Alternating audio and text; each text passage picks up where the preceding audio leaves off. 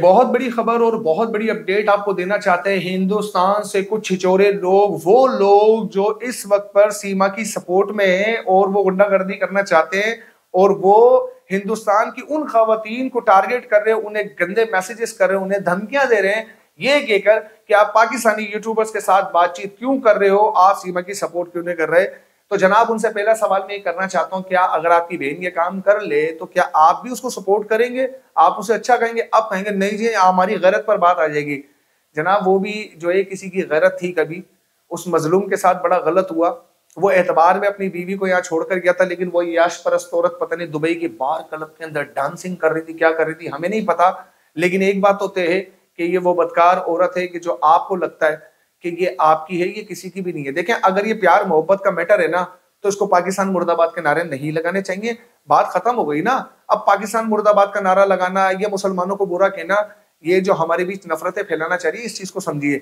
अच्छा अब बात करना चाहते हैं एपी सिंह के हवाले से, और वो लोग जो इसके सहूलत थे, आखिर उनको ज़मीन खा गई आसमान निकल गया, वो लोग कहाँ पर हैं?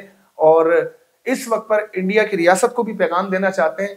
कि इंडियन गवर्नमेंट जो है, वो इस वक्त पर इसे इतनी छूट ना दे कि ये आपके तिरंगे को लपेट के कुछ भी करे, पाकिस्तानियों के हवाले से स्टेटमेंट जारी करे, क्योंकि ये तो खुद घुसपैठी है और ये वहाँ पर इन लीगल वे में इस वक्त पर वहाँ पर रह रही है तो उसको किसने ये अधिकार दिया कि दो स्टेट के मामला के अंदर ये इतनी खुली राय रख सके? तमाम शौर वाले लोगों से बात करना चाहता हूँ, उन्हें ये बात बावर करवाना चाहता हूँ कि आप अपनी हुकूमत को और अपने इदारों को वहाँ जाकर या तो थाने में कोई एफ़ आई आर कटवाए इसके खिलाफ और वहाँ पर केस दायर करे कि ये दो स्टेट के दरमियान, दो दो लोगों के दरमियान नफरत भरा पैगाम लॉन्च कर रही है। किसके कहने के ऊपर? ये झूठ पर झूठ बोलती है और ये ढाल बनाती है एपी सिंह को कि, मेरे एपी भैया सब पर भारी हैं और मेरे एपी भैया पता नहीं क्या कर लेंगे।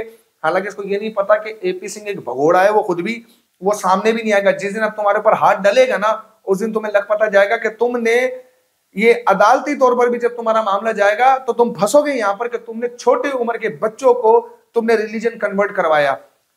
खुद से तो कुछ याद ना हुआ, बच्चों को बड़ी तेज़ी से याद करवा रही हूँ सिर्फ़ ये वाजे करवाने के लिए कि मैं एक अच्छी हिंदू हूँ, मैं एक सबसे बड़ी सनातन हूँ, जबकि सनातन धर्म के लोग तुम्हें एक्सेप्ट ही नहीं करते।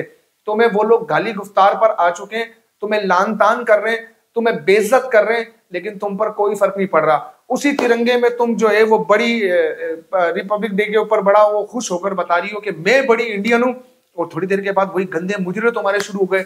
वही तुम्हारा नाच गाना, वही तुम्हारे ठुमके जो है, जिससे तुम आवाम को एंटरटेनमेंट दे रही हो। और सबसे बड़ी बात, हैरत है उस शख्स के ऊपर जो होने का शोहर दावा करता है, लेकिन वो खुद भी नचवा रहा है और अपनी घर की बच्चियों को भी नचवाने पर मजबूर कर रहा है इसके साथ। मैं इंडियन के उन तमाम दोस्तों को, जो हिंदुस्तान के दोस्त है, उन्हें ये समझाना चाहता हूँ, आपकी बहन बेटियाँ इसको देख रही हैं, आपका मीडिया भी इसको 90 परसेंट कवरेज दे रहा है। आप इस अंधेपन में ना खोएँ कि हिंदू मुस्लिम मामला के अंदर तुम मज़हब को आड़ बनाकर अपने घरों की बाउंड्रीज को ना देखो।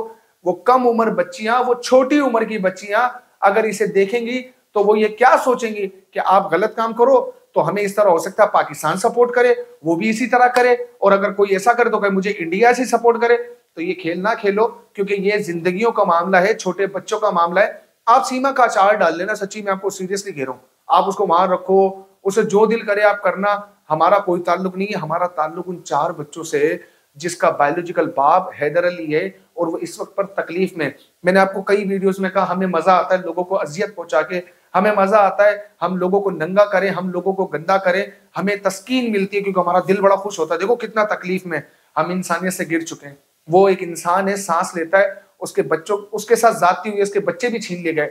आप भी, उसकी जो है वो अब तो सचिन बकौल आपके कितनी हैरत की बात है कि लोग कहेंगे, कैसा धर्म है कि ये बिना शादी के उसके साथ रह रहा है, ये शादी भी नहीं करके रह रहा, ये डेली उसके साथ रेप कर रहा है। लेकिन आप लोग उसको सपोर्ट कर रहे हो, पहले शादी वाजे करो।